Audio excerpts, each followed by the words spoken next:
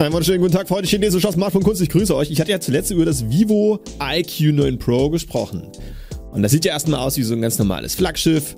Als Besonderheit ist es eine Kooperation zwischen äh, Vivo, also BBK Electronics, mit BMW, BMW Motorsport. Deshalb sieht das ja auch so fancy aus und deshalb haben wir auch hier so die BMW-Farben. Das ist aber nur eine der Besonderheiten. Es gibt auch eine technische Besonderheit, mehr oder weniger. Eigentlich wollte ich euch nur mal so auf dem Laufenden halten, über die aktuelle Entwicklung in Bezug auf einen Fingerabdruckscanner. Der, der Fingerabdruckscanner, also die erste Generation war ja in der Regel, okay, nee, das stimmt eigentlich nicht so ganz. Ich muss zugeben, jetzt denke ich schon selbst in den Apple-Bahnen, mal kurz gezeigt. Viele glauben ja, die erste Generation Fingerabdruckscanner, das ist halt so der typische Home-Button von Apple. Und dass der Home-Button gleichzeitig den Finger halt einscannen kann, womit wir wiederum das Gerät sperren bzw. bei Bedarf halt entsperren können. Das stimmt aber soweit gar nicht. Der erste Fingerabdruckscanner befand sich tatsächlich, wie dann halt später auch, auf der Rückseite. Und zwar beim Motorola Atrix aus dem Jahre 2011. Hier mal kurz gezeigt, das ist eine recht eigenwillige Platzierung, nämlich direkt auf der Kante, auf der oberen Kante vom Gerät. Schaut mir sogar noch der Aufkleber drauf. Motorola Atrix, wollte ich euch eigentlich mal vorstellen. Das Gerät ist unglaublich innovativ. Das Gerät kann ich nicht über eine Dockingstation an mein Display anschließen und habe ich dann ein vollwertiges Linux. Geil, oder? Wenn ich mal Zeit habe, mache ich doch ein Video. Aber jetzt habe ich ja Urlaub. Im Übrigen, Witzigerweise hat das von mir gezeigte iPhone 5 hier nicht mal einen Fingerabdruckscanner. Das ist tatsächlich nur ein Home-Button. Erst der Nachfolger, das iPhone 5S, welches dann Ende 2013 vorgestellt wurde, zwei Jahre nach dem Matrix. Als das iPhone 5S, das hatte dann den allerersten Fingerabdruckscanner in einem iPhone. Apple kam also damit bedeutend später mein iPhone 5 hier, was ebenfalls nach dem Matrix auf den Markt kam, hat hier eine ganz normale Haubentaste. Das konnte ich halt nur über einen Pin halt sperren, als Beispiel. Nun, der Fingerabdruckscanner hat sich weiterentwickelt. Das ist ein Samsung Galaxy Note 20 Ultra. Und hier befindet sich der Fingerabdruckscanner unter dem Display. Hm, das kann man ja gut erkennen. Per Bewegung wird das Display aktiviert. Das ist jetzt hier gerade nicht always on. Und da wird einem sofort angezeigt, wo man den Finger halt hinsetzen muss. Ja, seht ihr? Jetzt ist es aus. Zack. Kurz bewegt. Es ist an. Und Schon bin ich im System.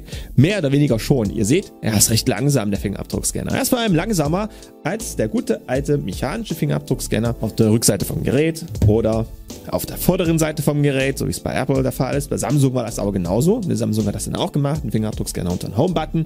Nun, die Technologie wurde dann aber später verbessert, wie zum Beispiel bei meinem Meizu ähm, 18 Pro. So, hier ist auch angedeutet, Fingerabdruckscanner und ihr seht, geht wesentlich schneller. Und was ich euch auch sagen kann, der Fingerabdruckscanner ist deutlich zuverlässiger. Ja, das ist jetzt gerade verbunden mit meiner Kamera. Nicht nur das, auch die Gesichtserkennung ist hier bei meinen 18 Pro wesentlich zuverlässiger als bei meinen Note 20 Ultra. Ja, das ist halt Meizu. Meizu ist auch mal sehr, sehr fortschrittlich, was, naja, so ziemlich alle Technologien angeht. Nicht unbedingt wegweisend, wie zum Beispiel Xiaomi, aber sehr, sehr guter Standard. Nun, ich habe euch jetzt nicht umsonst das IQ 9 Pro gezeigt. Das ist ja ein aktuelles Flaggschiff.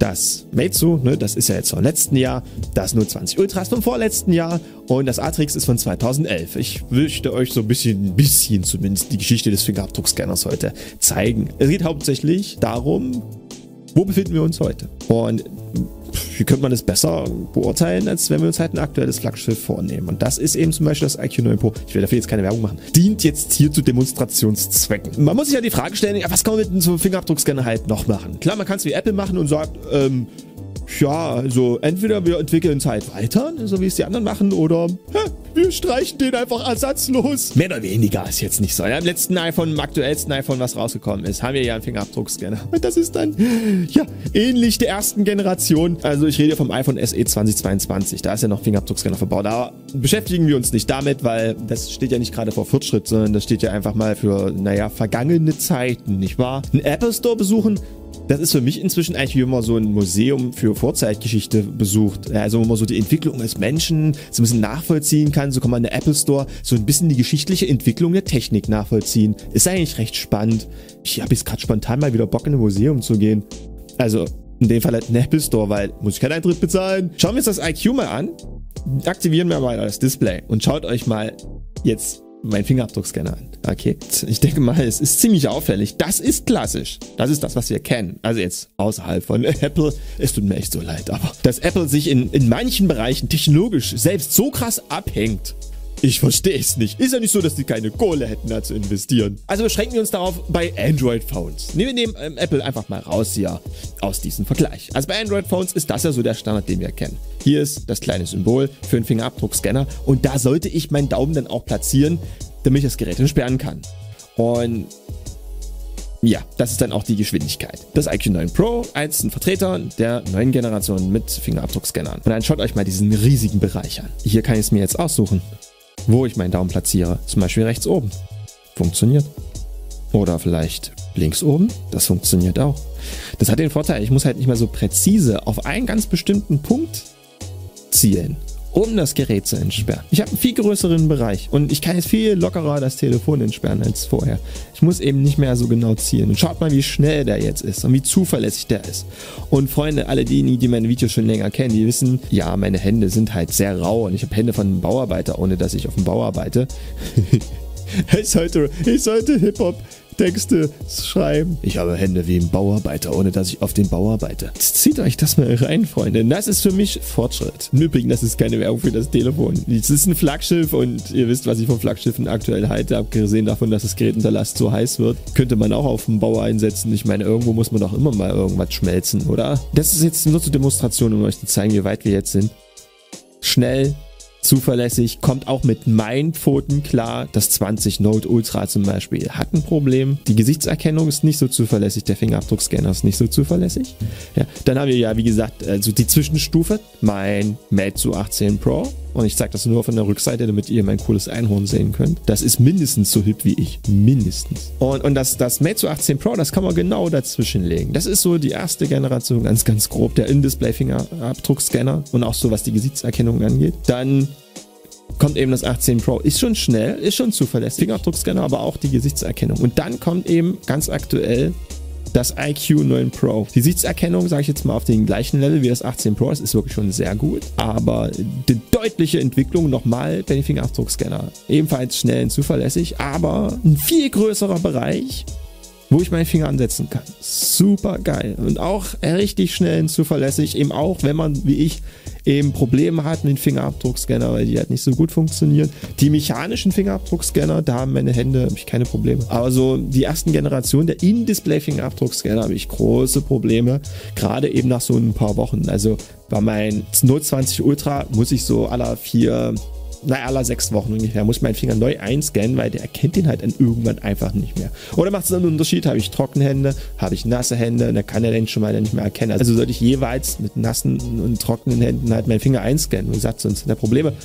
Beim Meizu Pro gar nicht ich am Anfang einmal eingescannt und seitdem absolut zuverlässig. Absolut geil. Wie gesagt, die Gesichtserkennung auch absolut zuverlässig. Spitze der Evolution. Und das ist halt jetzt das Beispiel, eben das IQ 9 Pro. Absolut zuverlässig, absolut schnell und eben noch so ein großer. Ich denke mal, die werden ihn noch größer machen, dass irgendwann halt der gesamte untere Displaybereich, dass der halt dann äh, auch ein Scanbereich ist für einen Finger. Man setzt ihn halt irgendwo hin, zack, aufs Display und das Display wird halt entsperrt. Das ist Komfort. Ich sag's euch so, wie es ist. Ich sag jetzt nicht, Leute, gebt jetzt 700 oder 800 Euro aus für ein IQ 9 Pro bei Trading Chen Chen. Das kann ich euch gerne nochmal in der Videobeschreibung verlinken. Nur, damit ihr einen größeren Bereich für einen Finger habt. Das ist Blödsinn. Das ist letztendlich nur Komfort. Macht es die gesamte Bedienung in Bezug auf Sicherheit mit dem Smartphone macht es einfach besser. Aber deshalb würde ich nicht unbedingt ein Telefon kaufen. Das ist natürlich Blödsinn. Man sollte echt mal überlegen, was brauche ich und nicht, was ist ein Fancy oder macht das Leben ein ganz kleines Stückchen leichter. In dem Zusammenhang muss man natürlich, oder will ich auch einfach nochmal herausstellen, auch einfach, weil Apple immer noch so mega erfolgreich ist, weil es jetzt schon irgendwie im Raum steht, auch dass es SE 2022, obwohl es technologisch teilweise absurd hinterherhängt und längst abgehängt wurde in dem Preisbereich von so ziemlich allen Android-Smartphones, was ja wirklich erstmal ein Hersteller schaffen muss. Äh, da will ich halt an der Stelle nochmal festhalten, dass Apple sich halt in Bezug Sicherheit und Fingerabdruckscanner gar nicht weiterentwickelt hat und stattdessen eben den Fingerabdruckscanner einfach aus dem Programm gestrichen hat. Den gibt es eben nur noch im iPhone SE 2022 und das ist, wie ich schon erwähnt hatte, das schlechteste Gerät in dem Preisbereich im Jahre 2022. Und nicht nur das, auch im Jahre 2021. Apple stand ja mal für die Sicherheit am Smartphone. Ja, und viele dachten, ja, Fingerabdruckscanner, das kam halt alles von Apple, was ja nicht mal stimmte. Ja, das war ja im Prinzip nur Gerüchte gewesen, die sich hartnäckig im Netz gehalten hatten. Und obwohl Apple heute so irgendwo als Vater des Fingerabdruckscanners steht, verbauen die heute keinen mehr. Geschweige denn, dass die diese Technologie halt weiterentwickeln. Stattdessen haben wir heute eben einen IQ 9 Pro, wo ich sage, das ist wirklich beeindruckend. Ob ich dann jetzt hier in so einem kleinen Spielzeug ein A15 oder ein A14 oder ein A13 habe, das ändert für den normalen User nichts. Der merkt das überhaupt nicht. 99% der Nutzer vom iPhone SE 2022 werden keinen Unterschied merken in der Geschwindigkeit zum Vorgänger. Außer Apple patcht mit Absicht die Geräte wieder langsamer. Aber sowas, muss ich sagen, feiere ich echt schon hart ab. Ich weiß ja, ich im Review eigentlich erwähnen sollen. Äh, hatte ich tatsächlich einfach vergessen. Deshalb habe ich jetzt dieser neuen großartigen Technologie nochmal ein extra Video gewidmet und damit habe ich hoffentlich diesen Fauxpas aus dem Review vom IQ 9 Pro ein bisschen ausgebügelt. Ich danke euch wie immer fürs Zuschauen. Ich hoffe, ihr fandet es interessant. So ein kleiner Blick in die Vergangenheit und ein in die Zukunft. Wir sehen uns auf nächsten nächsten Video wieder. Wenn ihr das hier interessant fandet, dann ich habe noch einen TikTok-Kanal und eine Videobeschreibung. Ich habe noch einen Drittkanal auf Odyssey, auch eine Videobeschreibung, geht es aber um Politik. Dann habe ich meine, ach, ihr kennt alles. Nur einen Kanal abonnieren, ein Like da lassen. Bis zum nächsten Video. Ciao.